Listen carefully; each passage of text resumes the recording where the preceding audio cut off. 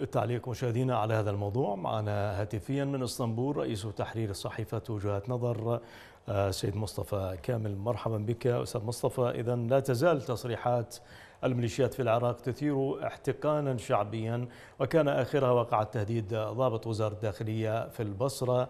كيف تقرأ هذه الحادثة وتطوراتها؟ بسم الله الرحمن الرحيم. أحييكم مشاهديك الكرام. هذه الحادثة كما حوادث سبقتها كثيرة وكما حوادث ستليها كثيرا. تؤكد أن خضوع كل ما يحدث في العراق خضوعه التام لسلطة الميليشيات وتغولها هذه الميليشيات التي افترست كل الأجهزة الأمنية والعسكرية والإدارية والخدمية وباتت تتحكم في كل هذه الأجهزة من أقصى نقطة في العراق شمالا إلى أقصى نقطة في العراق. جنوبا ومن شرقه إلى غربه. وبالتالي هذه الميليشيات التي تتغول يوميا وتحكم بسلاحها المنفلت على القانون الحقيقي ولكن المدعوم بالقانون الميليشياوي الذي يحكم العراق هذه الميليشيات هي السلطة في العراق هي الخصم والحكم كما يقال القضاء أيضا بأيديهم في كثير من المواقف التي مرت هذه سلطة الميليشيات الحاكمة والمتحكمة بالعراق وبالعراقيين. ولكن الأمر تطور في رد فعل على هذه الواقعة، شيخ عموم بني مالك ضرام المالكي قال ان عشيرته لن تسمح لأي شخص بالمساس بأبنائهم. وهو يعني ما ينظر باحتدام الموقف يعني هذه كما تعلم ليست المرة الأولى التي تثير فيها الميليشيات حفيظة المواطنين. كيف ترى سلطة الحكومة في بغداد على هذه الميليشيات؟ أولا معروف أن العشائر تحمي أبنائها وتمنع عنهم مثل هذه التجاوزات فيما لو حاول جهة ما. القيام بتجاوز على أحد أبنائها هذا أمر معمول به في الأعراف العشائرية بحسب الأعراف العشائرية. نعم.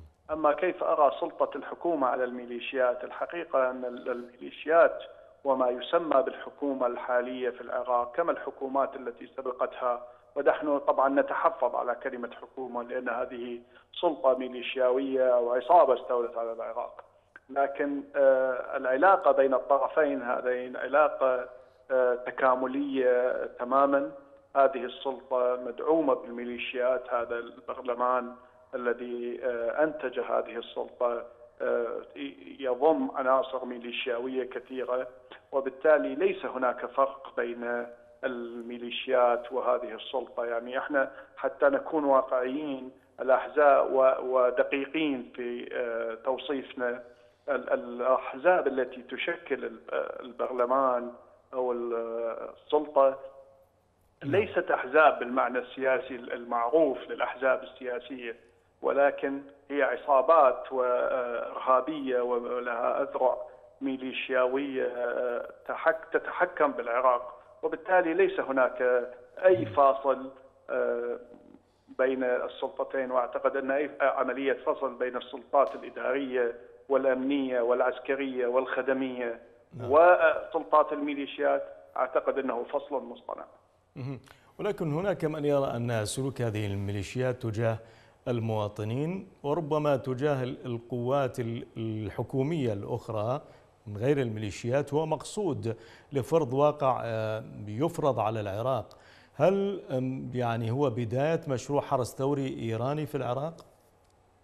عندما تقدمت سلطة حيدر العبادي في سنوات سابقة إلى البرلمان السابق الذي كان يرأسه سليم الجبوري عندما تقدمت بقانون تشكيل الحشد قانون الحشد الشعبي فبذلك سنت قانون تشريع لميليشيات إرهابية شبيهة بقانون بميليشيات الحرس الثوري الإرهابي الإيرانية.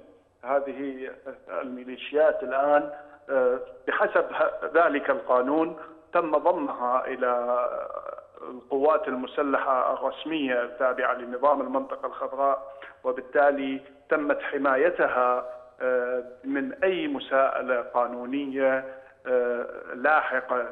لكن في الحقيقة هذه السلطة عبرت عن غباء كبير فهي عندما شرعنت وجود هذه الميليشيات وضمتها إلى القوات المسلحة وجعلتها كما تدعي وهذا الادعاء غير صحيح لأن آه، تدعي أنها بإمرة القائد العام للقوات المسلحة والصحيح أنها بإمرة الولي الفقيه وبإمرة المراجع الذين ينتسبون تنتسب هذه الميليشيات إليها. فإن آه، القائد العام للقوات المسلحة بحسب هذا المفهوم آه، يكون هو المسؤول الأول والأخير عن ارهاب وإجرام هذه الميليشيات.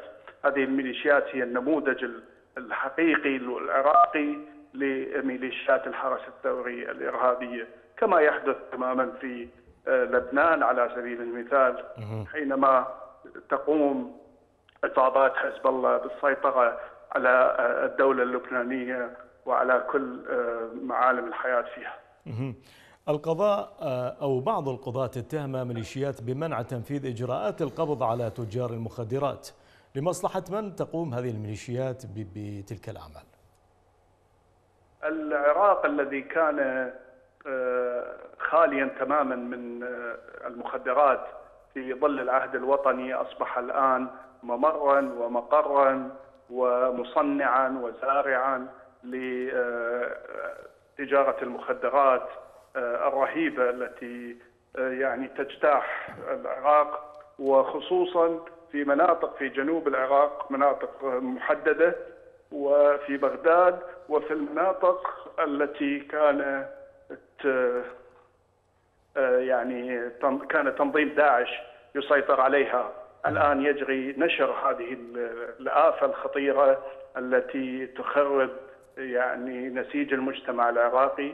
هذا أمر مقصود والميليشيات تأتمر كما قلنا بأوامر مراجعها وفي مقدمتهم الولي الفقيه الذي يسيطر هو وأبنائه على تجارة المخدرات في إيران ويريدون نشرها في العراق والعراق الآن بات كما قلنا يعني مصدرا لتصدير هذه آه، الآفة الخطيرة إلى دول الجوار وطبعا نشرها في العراق أيضا.